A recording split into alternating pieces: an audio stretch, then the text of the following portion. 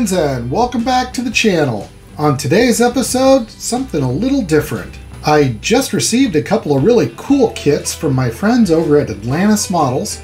They sent me these to review and build on the channel. So today we're going to do an unboxing of both, and we're going to kind of generally review the contents of each. And then I will be building each of these later on in separate videos with a full build and full review. I want to thank Atlantis for sending these to me. I'm really looking forward to reviewing more of their kits and sharing them with you guys. So I'm going to crack these kits open and we're going to take a look and see what's inside. Really quick, if you haven't already subscribed to the channel, please click that subscribe button down below. I'd really appreciate it. It really helps out the channel a lot. And as always, if you'd like to help out my channel even more, check out my t-shirts at my t-shirt shop, where I have t-shirts, stickers, mugs, and hats, all scale model themed, designed by me, a scale modeler. You can check out my I Heart Scale Models t-shirt, or maybe my Don't Feed the Carpet Monster t-shirt, and several other cool and quirky designs. All the links are down in the description below, so be sure to check them out. All right, let me move things around and we'll get to the unboxing. Okay, first up, we're going to check out the Silver Knight of Augsburg from Atlantis Models. This is in 1 8 scale, and it should be pretty fun. Now, I haven't done a figure model in, oh, decades, so this will be fun for me to get back into doing a little bit of a figure modeling. So, let's get this cracked open and see what's inside. Okay, let's see what we've got in the box. We've got a bag of parts. We have an instruction manual. There's a picture of our knight on there. History of the Silver Knight. Here we have all of our steps for assembly. And then we have an exploded view of the entire kit.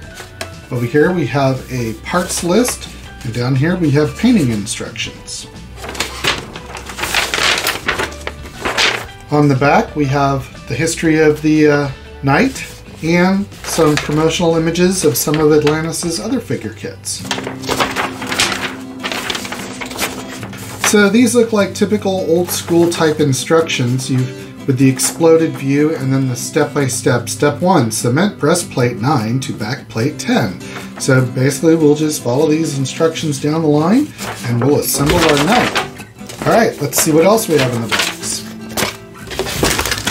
Okay, first off, we have this cool little feather. Yeah, it's actually a, I'm sure it's a fake feather, but it's a feather. So that'll be pretty cool. Set that aside. All right, here we have our, looks like the back of the armor. Okay, there's a lot of flash on here, so be aware of that. There's gonna be some definite cleanup but you have to kind of be accepting of that in these repopped kits because these molds are old and, and they don't seal up as well and you're just going to have to deal with that. Doesn't necessarily mean a negative thing, just be aware you're going to have some flash to clean up. Okay, here we have the sword. The sword looks actually pretty nicely detailed. That'll look good once we get it all painted up. Here we have the front and back of the helmet which again, a little bit of flash, but overall looks really nice. It's got some raised detail for the rivets and some recessed lines. Okay, here we have the back of his legs. Again, more flash, but some nice detail in there, some texture. We'll be able to uh, detail that up. Please ignore the dog backing in the, barking in the background. Okay, there's the front of his legs. Okay, here we have more of his armor, his hands, and their the gloves. Oops, parts are coming off the tree, but that's okay. That's why they put them in a bag. Okay, here we have the front armor section. That looks really nice. Here we have what looks like his leg halves and the belt. And looks like this looks like the top of the helmet, the faceplate over the helmet. Looks like we'll be able to drill those holes out to give it a little more texture. That'll be neat. Here we have, this looks like a shoulder pad. Again, nice Nice added detail there. Okay, here we have a sheath for his sword. That's got some detail on it.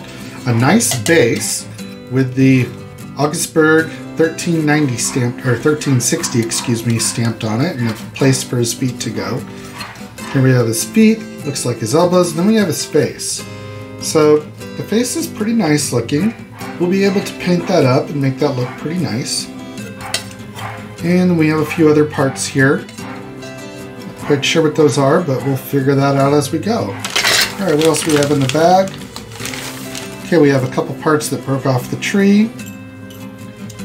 Alright. That glove. The glove has got some nice detail on it. I don't know if you can see that on camera. Alright, so there's the contents of the Silver Knight kit. Again, I will be building this on the channel and do a full in-depth review at that point. So let's move on to the lighthouse. All right, next up we have the lighthouse model kit. This is, it, it's a big box, so I can't actually get it all in frame. But uh, this includes a working light, uh, and it will need some batteries. They're not included. They're a 2 CR2032 battery. I believe that's a coin type battery, but we'll see when we get into the kit. This is in 1 160 scale, so it should be a pretty good size. Side of the box has some pictures of the actual finished kit. And on the back we have a, the box was damaged in shipping. Hopefully it didn't damage anything inside. We'll soon find out. And then you have a nice picture of a completed kit. Comes on a base with like water and waves and then a hillside or something, and then the lighthouse, the smokehouse, uh, some boats and antennas. I'm really looking forward to building this kit. Got some information here on the rest of the kit. So let's get this opened up and see what we got inside. All right, let's see what we have here. We've got one bag with all the parts in it. We have an instruction set.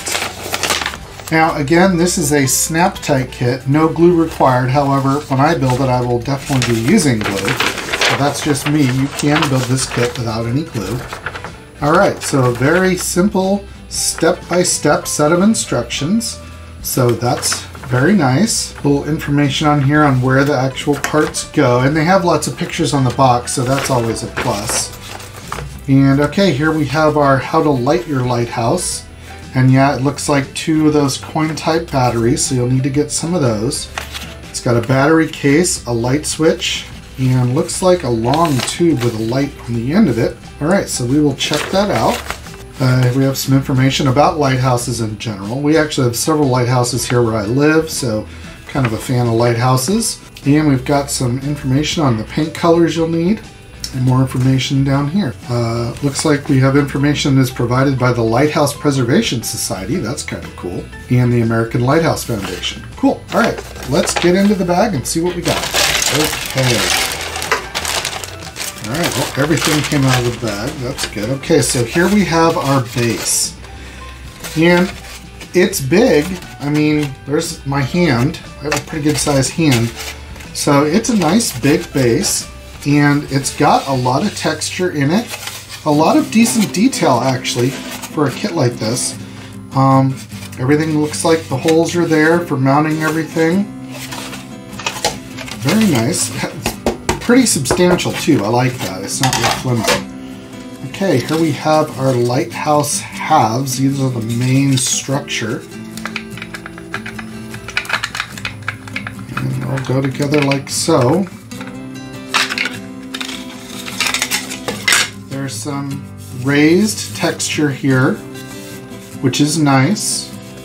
Um, the windows are just hollowed out. There's looks like there's some clear parts for those possibly, so they're well numbered.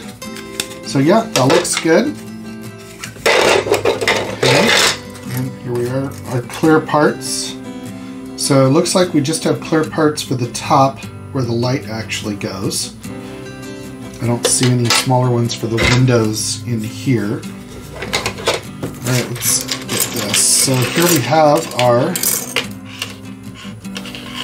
This is our lighting system. So you've got a battery holder with a switch, batteries go in here. This is going to go up inside and looks like we've got just a little little clear LED at the top of that. So simple, but that should work great.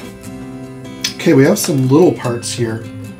So these look like the guardrails, maybe a fence post. Uh, we have a small piece here. Sure what that's for yet, but we definitely don't want to lose them. Okay, um, I believe these are parts to, parts to the smokehouse, or they're also called an oiler house because that's where they stored the oil sometimes for the old oil lamps. But all right, um, here we have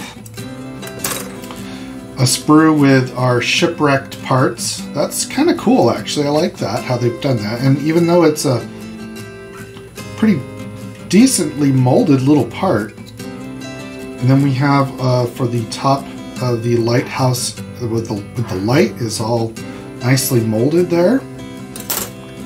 Then we have another sprue with our lifeboat.